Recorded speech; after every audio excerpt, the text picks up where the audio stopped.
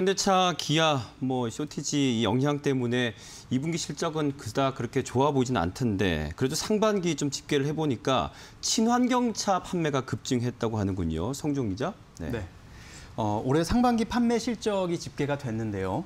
이 친환경차 판매 실적만 보, 놓고 보면 현대차가 5만 1,085대, 기아는 4만 3,350대를 어, 상반기에 팔았습니다. 각각 어, 전년 동기 대비하면 35%, 44% 증가했으니까 어, 현대차와 기아 모두 상당히 어, 그래도 친환경 차를 작년보다 많이 팔았다라고 네. 이제 해석을 할 수가 있겠고요.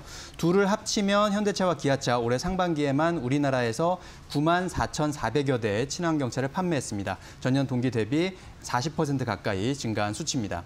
어, 이처럼 친환경차 판매가 늘어난 것은 역시 그 관련 모델 어, 차종이 많이 추가된 영향이 크다고 볼 수가 있겠습니다. 현대차가 출시한 첫 전용 전기차 아이오닉 5가 바로 올해 출시가 됐죠. 어, 전기차 보조금 소진 속도가 빨라지면서 또 전기차를 사려고 결심했던 소비자들의 어, 또 마음이 급해진 영향도 한 몫을 했을 것으로 예상되고요.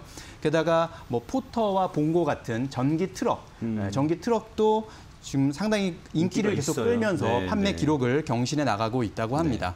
거기다가 이제 앞으로 또 기대가 되는 것은 하반기에 기아가 선보이는 전용 전기차 EV6가 네. 드디어 이제 어, 출고가 되고요. 현대차 같은 경우는 제네시스 G80 어, 전동화 모델이 출시될 예정이어서 어, 전기차 판매는 또 하반기 갈수록 또 더 기대가 되는 그런 상황이라고 볼 수가 있겠습니다. 네. 자, 현대차가 뭐 껍데기만 만들어서는 우리 미래의 글로벌 그 자동차를 좀 선도하기는 어렵다 이렇게 판단을 한 모양입니다. 어, 그 차세대 배터리 개발사네요. 솔리드 에너지에 1억 달러 투자 소식인데요. 네, 현대차가 최근 리튬 메탈 배터리, 그러니까 차세대 배터리로 꼽히는 뭐 배터리 개발사인 솔리드 에너지 시스템과 지분 투자 계약을 맺었다는 소식이 좀 전해졌습니다. 네. 이 업체가 어떤 업체인지 한번 살펴보니까요.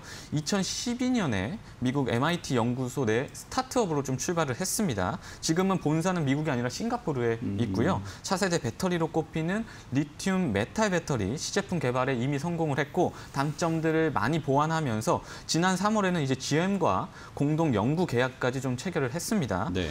리튬 메탈 배터리에 대해 조금 설명을 드리자면 기존에 이제 우리가 사용하던 리튬 이온 배터리보다 에너지 용량이 10배 정도 크다고 해요.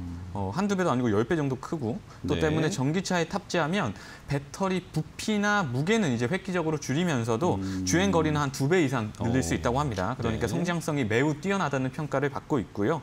이 업체는 현대차가 이제 1억 달러, 그러니까 우리 돈으로 약 1,100억 원 이상을 투자한 것으로 현재까지는 알려졌습니다. 네. 정확하게 구체적으로 금액은 밝히지 않았는데 현대차 관계자 이제 설명을 들어보니까요 전동화 관련해서 다양한 기업에 현재 투자를 하고 있고 그 물망에 올라서 우리가 투자를 한 것이다 이렇게 인정을 했습니다. 또 이번 투자도 그 일환에서 이루어졌다고 설명을 했습니다. 네. 지금 각국의 전기차 시장은 배터리 내재화에 서로 이제 속도를 내고 있는데 이런 점에서 아주 반가운 소식이 아닐 수 없다 생각이 듭니다. 시사점도 좀 정리해 주시죠. 네, 최근 글로벌 완성차 업체들이 주목하고 있는 것, 또 최대 과제는 그러니까 미래 이동수단 시장 선점입니다. 네. 결국 전기차나 도심 항공기 뭐 이런 시장 주도권을 좀 가져가기 위한 싸움이 되고 있는데요. 여기서 가장 중요한 것은 이제 가벼우면서도 오래가는 배터리 기술 확보입니다. 이게 약간 건전지 CF 문구 같죠? 음. 어, 가벼우면서도 뭐 오래가는 네. 그렇죠. 근데. 네, 이게 미래도 비슷하게 갈 것 같습니다. 어, 현재 쓰이는 배터리들이 가진 한계를 뛰어넘는 이런 차세대 배터리 기술을 확보해야 미래에도 살아남을 수 있다. 이런 전략으로 보이는데요. 현대차 역시도 차세대 배터리의 중요성을 뭐 일찌감치 인지를 하고 투자와 육성에 적극적으로 좀 나서고 있습니다. 특히 현대차는 배터리 관련 독립 기술을 확보하는 배터리 내재화 전략을 통해서 경쟁력을 높인다는 방침인데요. 이번 투자 역시도 이런 전략의 일환이라는 분석이 나오고 있습니다. 특히 현대차는 올 초 이제 연구 개발 조직 안에 어, 차세대 배터리 개발을 위한 연구진을 대폭 강화하면서 주목을 받았습니다. 이게 뭐 국내뿐만 아니라 네. 해외에서도 주목을 할 정도였는데요. 특히 정의선 현대차그룹 회장이 직접 이 어, 조직을 챙기고 뭐 신경을 쓰면서 이렇게 힘, 심혈을 좀 기울이고 있는 것으로 보이고요.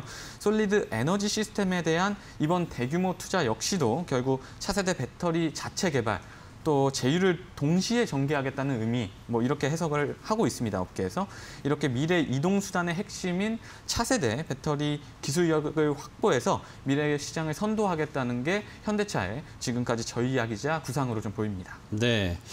자, 끝으로 증권가에서는 현대차 기아에 대한 어떤 평가를 하고 있는지 좀 궁금한데 뭐 좀 컨센서스를 높게 좀 보고 있죠. 네. 네, 일단 기본적으로 오늘 나온 증권사 리포트들을 보면 어, 2분기 실적에 대한 기대감이 상당히 크다는 것을 확인할 수가 있었습니다. 어, 신영증권은 현대차에 대해서 시장 기대치를 상회하는 영업이익이 예상된다라고 어, 전망을 했는데요. 어, 비록 2분기에 내수 판매는 감소했지만 북미 판매가 늘었고 어, 또 인센티브 축소가 실적에 플러스 작용을 했다는 분석입니다. 여기서 인센티브라는 것은 이제 어, 영업 하는 분들한테 이제 주는 인센티브를 오히려 줄일 수 있었기 네, 때문에 그것은 네, 네. 회사 실적에는 오히려 플러스가 되는 되겠군요. 네. 어, 그런 이제 부분이고요. 어, 물론 상반기에 이제 현대차 같은 경우도 기아도 마찬가지지만 이 반도체 부품 부족 때문에 생산에 어려움을 겪지 않았습니까? 그렇죠. 그렇기 네. 때문에 하반기에 이런 부품 재고 확보 전략을 어, 잘 짜고 마련하는 것이 무엇보다 좀 중요한 그런 상황이고요. 네. 현대차 목표 주가 평균은 31만 4,500원 정도 수준인데요. 네. 최근 3개월간 하향 조정은 한 건도 없었습니다. 그리고 어, 상향 조정이 5월에 두 번 있었다라는 것 정도 말씀드리고요.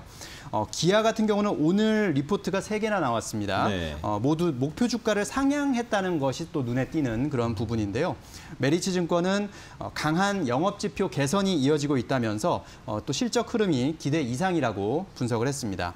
키움증권은 기아가 어, 2분기 1조 5,800억 원의 영업이익을 기록하면서 시장 컨센서스를 웃돌 것으로 내다봤고요.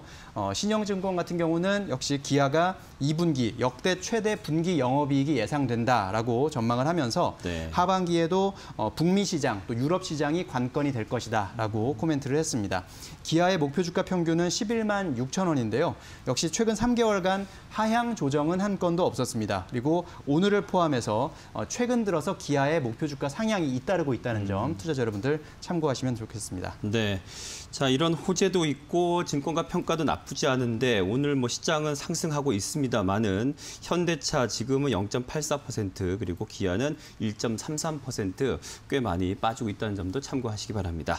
자, 오늘 기업인 이슈 두 분 기자 수고 많이 하셨습니다. 고맙습니다. 고맙습니다.